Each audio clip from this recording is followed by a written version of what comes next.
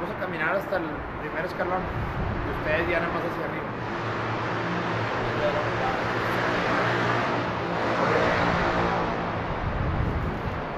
Pues ahora estamos en la FEPADE, que es la, el área especializada de los delitos electorales, y continuamos con estas denuncias, que como les decíamos hace un rato en la PGR, pues es un grave crimen que los recursos de los mexicanos se utilicen en esquemas de compra del voto y mapacheo del PRI.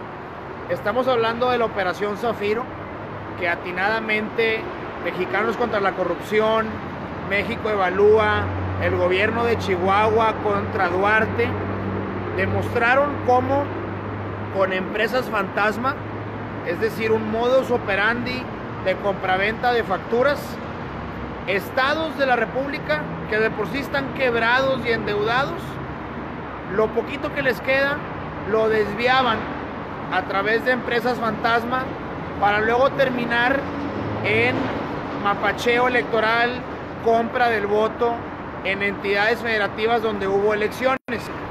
Y nos referimos al proceso que hubo donde Luis Videgaray, que era de Relaciones Exteriores, luego el de, perdón, antes el de Hacienda, los mismos del SAT permitieron este esquema. Fíjense, Empresas Fantasma, Sinax, recibió 125 millones, lavaron el dinero y terminó en un estado, en una elección uh, electoral local. Futura, 117 millones. Faga, 87 millones. Samex, 59 millones. Y así me puedo ir, es interminable. Y esto es únicamente lo que corresponde a Operación Zafiro.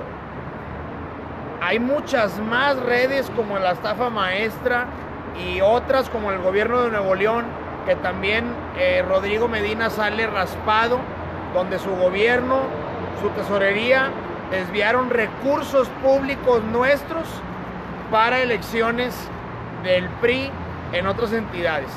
Aquí hay dos mensajes. Antes de que AMLO llegue el sábado y perdone a todos los corruptos, ya por lo pronto esta denuncia lleva su curso legal, está en trámite y no, no podrá ponerle un borrón y cuenta nueva o un punto final porque ya está denunciado en la PGR, en la FEPADE y posteriormente en el INE. Y dos, urge, urge ir por los factureros, urge ir por las empresas fantasma. Son dos billones, dos billones son mil millones.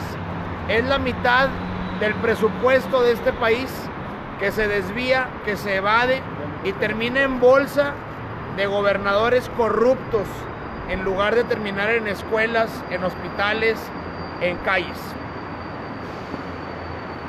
Estamos ante la Operación Zafiro, uno de los tantos modos operandi de la peor generación de gobernantes corruptos que ha tenido la historia reciente de nuestro país. Dinero de todos los mexicanos que tenía que haber sido utilizado para luchar en contra de la desigualdad, para brindar mejores oportunidades a millones de mexicanos, terminó en campañas políticas del PRI, terminó eh, usándose para tratar de pervertir elecciones y pervertir la democracia en nuestro país, para comprar el voto de muchísimas personas. De verdad, cuando nosotros pedimos que se sancione a los responsables, no lo hacemos en un acto de revancha, sino en un acto de justicia. Todos los políticos que le han fallado a México merecen estar en la cárcel, merecen ser sancionados. Por eso el día de hoy estamos uniendo, unidos, unidos otra vez en este esfuerzo como lo hemos hecho en otras ocasiones. Recuerden que la Jornada Nacional Anticorrupción la empezamos hace más de un año nosotros juntos. No es la primera vez que alzamos la voz en contra de los políticos corruptos y que buscamos que la justicia pueda ser la que dicte el futuro de estos políticos. Hoy estamos ante un nuevo caso, hay que recordar la estafa maestra que también se desviaron más de 7 mil millones de pesos. Hoy, más de 800 millones de pesos utilizados para pervertir la democracia y las elecciones, de verdad eh, no, tienen, no tienen vergüenza.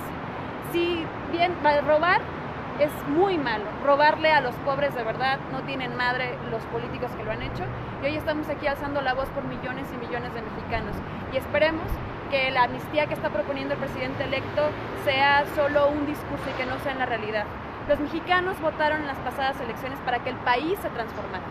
Votaron para que pudiéramos luchar en contra de la corrupción y también de la impunidad, que es la que acompaña a este sexenio. Este, el que estamos terminando, es el sexenio de la impunidad. Y Andrés Manuel López Obrador, el presidente electo que ya va a entrar en funciones, no puede ser cómplice de esta generación que le ha fallado tanto a nuestro país. Hace un año y medio venimos a la FEPADE a denunciar la red de corrupción de César Duarte mediante la que se desviaron recursos a las campañas electorales del PRI, recursos del pueblo de Chihuahua, recursos de las niñas, de los niños, de los estudiantes de Chihuahua, de los adultos mayores de Chihuahua. Después, eh, Javier Corral demostró que esa red de corrupción efectivamente se había dado y hoy César Duarte es un prófugo de la justicia. Hoy venimos a hacer una denuncia porque Mexicanos contra la Corrupción, esta gran organización social, tuvo a bien comprobar que no era un caso aislado, que era un modus operandi que se extendió al menos a ocho estados y que se desviaron más de 800 millones de pesos. Eh, esta es la red de corrupción que le dio agua destilada a los niños con cáncer.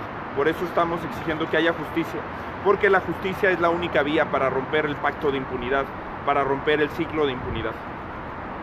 Pues bueno, síganos, vamos a seguir denunciando y mandar un mensaje claro. La corrupción no se perdona, no vamos a secundar esta amnistía si de por sí los corruptos en México ya están por demás eh, llenos de impunidad, llenos de dinero, pues no es posible que cuando un gobierno llega y promete ir contra la corrupción del PRIAN, se desdice. Un gobierno que llega y promete reversa el gasolinazo, se desdice. Un gobierno que llegó prometiendo fiscalía autónoma, se desdice. Y hoy la gasolina en los 22 pesos, fiscal carnal que vendrá próximamente. Ayer un show en la Cámara de Diputados con el fuero y no se diga este desagradable, eh, pues obviamente pronunciamiento de que se va a perdonar a los corruptos.